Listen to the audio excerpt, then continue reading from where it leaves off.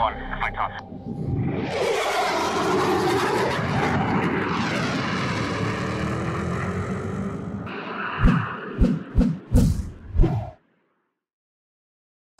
Everybody. Welcome back to Mondays with Mover. It's Monday. I'm Mover, C.W. Lemoine, author of the Spectre series and the Alex Shepard series. If you're looking for a book for your quarantine reading, the Spectre series box set is only 99 cents for this month. It's a t- terrorism, espionage, military thriller with F 16s. And if you get to the uh, Phoenix Flight, which is the most recent book, it's got some flankers in it, which I think is pretty cool. Uh, also, I'm working on the Alex Shepard, I think it's book three now. I don't know if you'd really count uh, Helios as the second book in that series, but I'm working on that. Uh, if you're looking for a military, more of a military police terrorism thriller, uh, Alex Shepard is your choice, and it's first person. It's the only book I write that's actually written in first person. So, anyway, today we're going to talk about how fighters fly in the weather. So, how we get uh, to the airspace or to the fight or to whatever we're doing and then how we get home. A lot of people have asked that, like, do we do formation takeoffs normally or whatever? So, uh, as singletons or as a section or two ship or division, which is a four ship, how do we get where we're going and back when the weather is less than ideal? So, uh, a couple things. The Air Force and the Navy do things slightly differently. So, I'm going to try to talk to both, even though sometimes it can get a little confusing. So, so when the weather gets bad, there are a couple ways that we can get to the airspace if it's training or to the fight if it's not. So, I'll, I'll talk about those. Uh, first off, we just go as singletons. We go as single ship and I'll meet you in the airspace. That is not typically desired, but it is a possibility, especially if radars are broken or someone doesn't have currency information takeoff or whatever. So that's that's kind of your hey, I'll just meet you in the airspace. We'll set up a point, we'll set up an altitude, we'll have altitude deconfliction, and we'll we'll work on a rejoin or rendezvous there. The second one is a formation takeoff. And a formation takeoff is something we practice. It's something you have currency in. The Air Force does it a lot more than the Navy, um, at least in my experience. And formation takeoff is basically you put two aircraft on the runway. We never do it in more than two aircraft. And there are restrictions, like you can't have standing water on the runway. The crosswind can't be uh, above a certain limit. The the reason for that is because you're basically putting two aircraft right next to each other and you're taking off together. So the way it typically works is you get there, you give the the head sig- uh, you give the head nod, uh, a run up signal, and then when the flight lead, he's going to tap his head. When his chin hits his chest, he's going to release the brakes, go to whatever power setting. Uh, so like an F-16, you can do them in mill power or afterburner. In T-38, we always do them in afterburner because you can't really take off in mil power, uh, military power.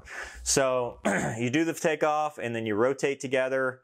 Uh, you're you're kind of far out, and a lot of the videos that you've seen, people complain, well, they look so far away. That's because it's a fisheye lens. We're actually, you know, you're separated by the center line because the reason you want to be separated by the center line is if the one aircraft has to abort for whatever reason, you don't want to be right next to each other and clip wings and go spinning off the runway. So we'll use the center line as a brick wall. If one's aborting, the other one can just take off or they can sympathetic abort or something like that. So they'll do a formation takeoff. And then once they're cleaned up, the gear and the flaps are up, move into a fingertip position, fly through the weather in fingertip, and then once out of the clouds, which depends on how bad the weather is. I mean, I've had some sorties where I've spent, you know, 30 minutes in fingertip, which can be kind of fatiguing because you're in close formation that entire time in the weather and you kind of get spatially disoriented because you're in the clouds and you're like, I don't know which way is up or down. I'm just looking at this guy's wing. So, and, and we can fly all the way through the weather. If for whatever reason you lose sight, then it's called lost wingman. So it's procedures that we have. Uh, whether you're in a turn, you're straight ahead, you know, 15 degrees for 15 seconds, something like that is w- what procedure you do. But typically, you usually just stay together. That's formation takeoffs. And believe it or not, we don't do them that often. It's not, not, not the, the primary method, except for like a T-38, which doesn't have a radar. The next one is an instrument trail departure, which also doesn't rely on a radar, and that is one aircraft takes an interval behind the other. So typically, good weather day, you do between 10 and 15 second interval takeoff. So one aircraft will take off, and then 10 to 15 seconds later, the second one will take off. In a radar, or sorry, an instrument trail, you, you back that up to like a 15 to 20 second interval because now you are you're maintaining a distance behind the other aircraft and then he's calling all turns he's setting a power setting so like the f-16 it's called FTIT uh, or the uh, EGT or whatever aircraft. You set a power setting and you basically hold that. You call all turns. You call all altitudes passing for 5000 feet or so. And then once visual you call the visual and you go. If the radar is working we'll do a radar trail radar assisted trail uh, departure. So now you're, you're taking off and it's an instrument trail up until the point that they call tied or in the Navy tied on. And once he calls tied, you're just using the radar lock. You don't put you don't put them in the HUD because you know you don't want to run into them, but you're using the radar to um, st- maintain that mile and a half to two miles and following them around until you're out of the weather. Then you call visual, and then he'll clear you for the rejoin. Uh, if you remember from my lightning strike video, uh, I never called visual because I knew we were going through the weather, and my flight lead said, "Hey, you're going to get on board or not?" Because he knew we weren't in the weather. So that's when I rejoined uh, to fingertip. But that was a radar trail departure. So we did radar trail up to the point that he said, "Hey, you're going to get on board?" And then I went to fingertip. There's also sensor trail is the exact same thing, except instead of using the radar, you're using um, your data link. So we have data link tying each other together, and we use that to maintain our, our spacing so we don't run into each other. And that's pretty much it to get out to the airspace, um, you know, through the weather or whatever. It's much more comfortable to do a radar trail. There are some downsides, is now you don't have your radar open to sweep for threats or other stuff. But in peacetime, that's not a big deal. In combat, obviously, it's a lot bigger deal. So a sensor trail might make more sense. Um, formation, I mean, it's good, especially if you got a bunch of aircraft you're trying to get airborne. You know, you keep them together. You're not because you'll spread them out. You'll be at that mile and a half to two miles, and that's over and over and over and over. So you'll end up with a four ship that's you know six miles apart or something like that. So you'll have big distances between aircraft. So it's maybe not the best if you're doing a large force exercise or something like that. In the airspace, obviously we don't have weather radar. A lot of them now, uh, we fly with, uh, like in the T-38, we fly with the ADS-B pucks that have XM, uh, well actually the ADS-B actually has its own uh, radar that it pumps through the ADS-B system and we put it on our iPads. Uh, we also fly with, with Garmin's that have XM weather antennas that we can look at for weather. You can put a radar, a mecha mechanically scanned radar in a ground map mode and roll it up and you can actually get you can paint uh, if it's real heavy sails or something it's not all that reliable. And then some of the fifth gen fighters actually have the ability uh, to do that. But again it's fighter radars are not very good at finding weather. We do not rely on them to find thunderstorms and stuff. We just basically see and avoid and if atc tells us there's a storm we try to deviate as necessary to get around it. Uh, but in the going through the weather, we'll transit weather, stuff like that. It'll just be, hey, you're in a tack line abreast, uh, wing rock, you'll rock them in and go to a, um, a fingertip position, or you can just use the data link. If you're far enough apart, you can just use the data link to make sure you're both on the same heading and stuff. It's not an official thing, that's more of a technique, but using the data link to punch some thin layers of weather is something that sometimes happens. Coming back home, that's where you know that's where you're going to make your money. Um, now, I'll talk about the Navy first because I think this is probably the biggest travesty. They fixed it with Fat Amy and the F-35, but in the Hornet community, for the longest time, we could only do. I'm talking shore base. Now, at the boat, you pretty much have ICL, ICLS, which is an ILS for the ship, and ACLS, which is a data link director for flying approaches on the ship. That's at the ship. Shore-based, however, ICLS does not work. In fact, it only works unofficially because there's no published approaches at, I think, two field, Lemoore and uh, Oceana, although I'm not sure on that one. But the reason for that is it's based on a TACAN. So the TACAN channel is different than a civilian ILS. A civilian ILS is a VHF frequency.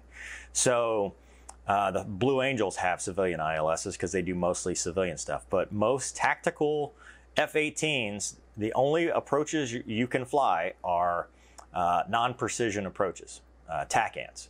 So uh, to fly a precision approach, you have to use what's called a PAR, um, which is using a radar and a ground controller.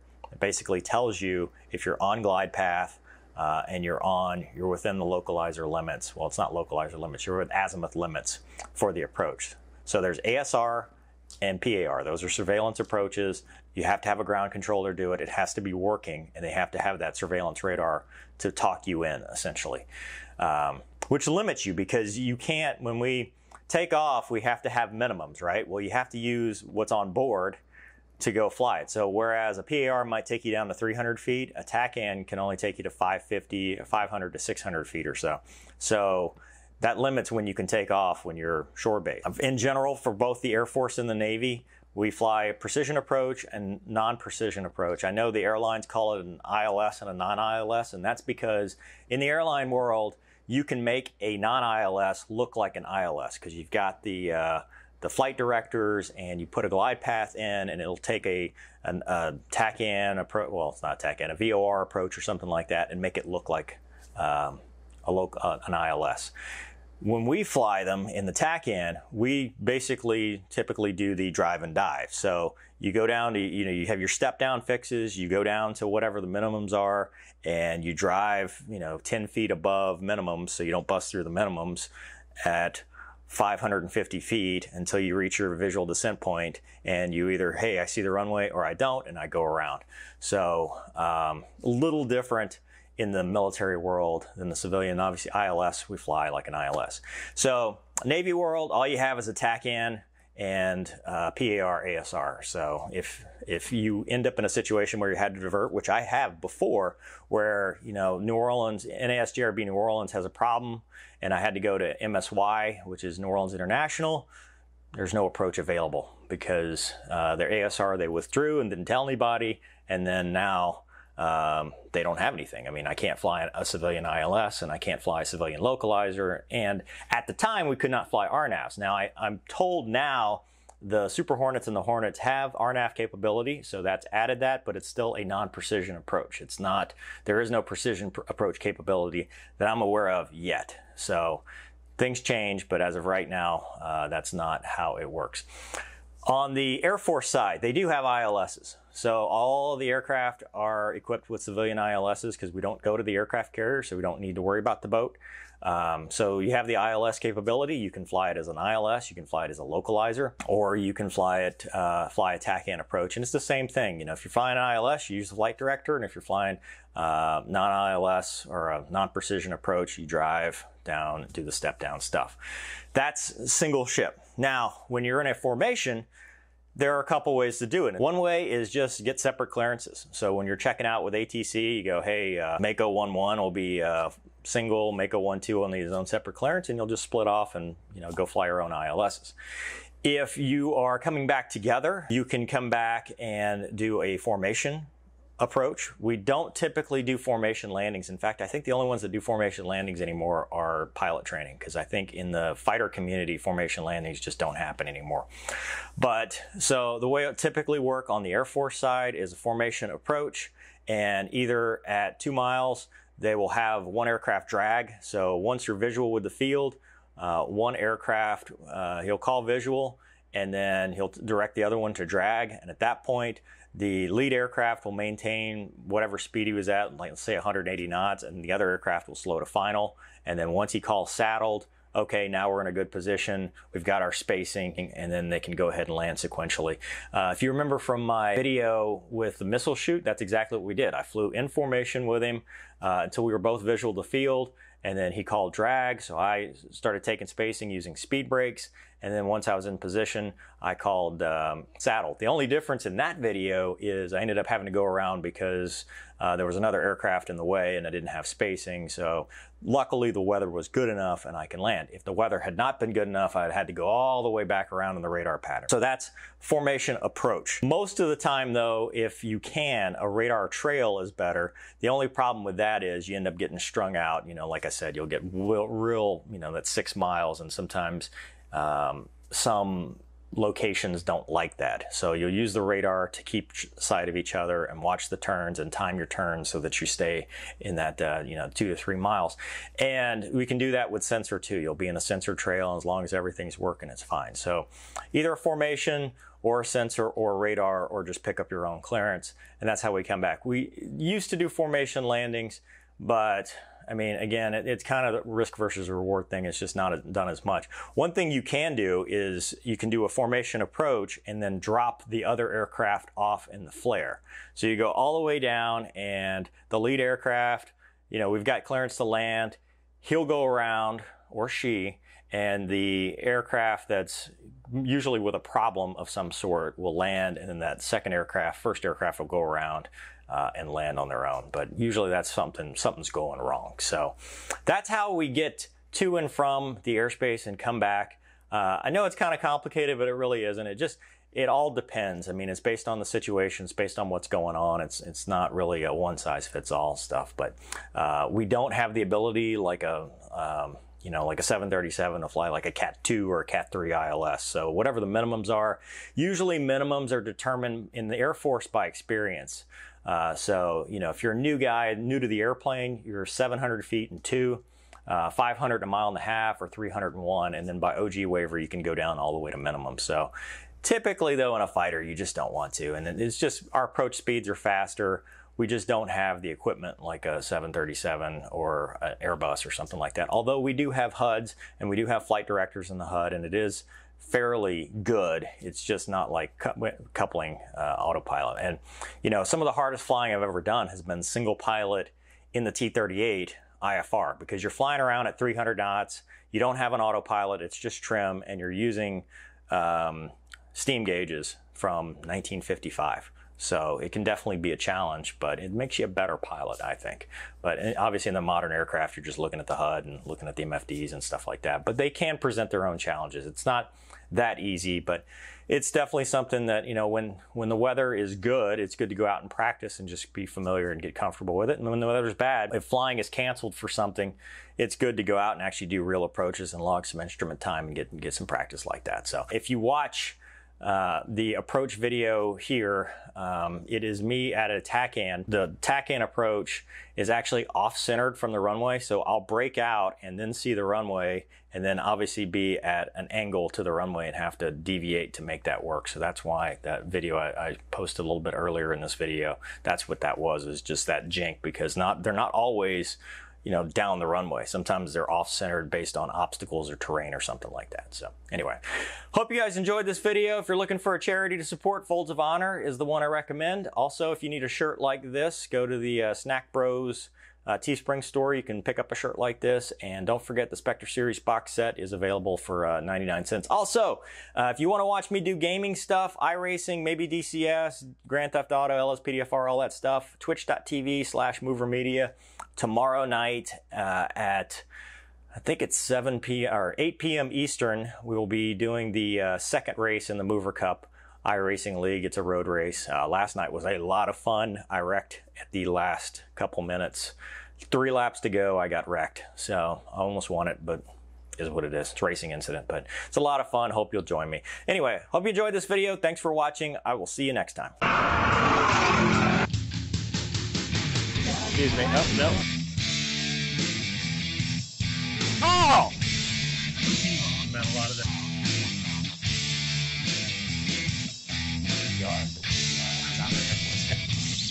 Really fine with the doors off.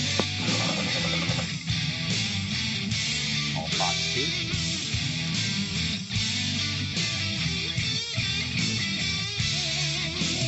Don't be a douche. Rule number one. I can tell you now.